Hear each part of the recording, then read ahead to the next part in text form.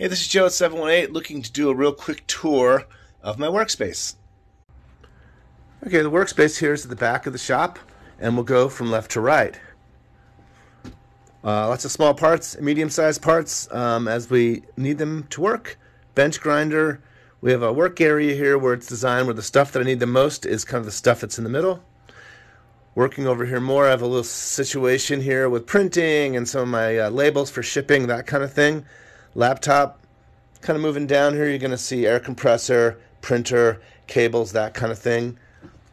And then spinning it around, we have a bookshelf with more catalogs. And then working all the way back around is point of sale system and how we service the shop. So, again, this place was designed for one person to really be able to do all the things needed within the shop.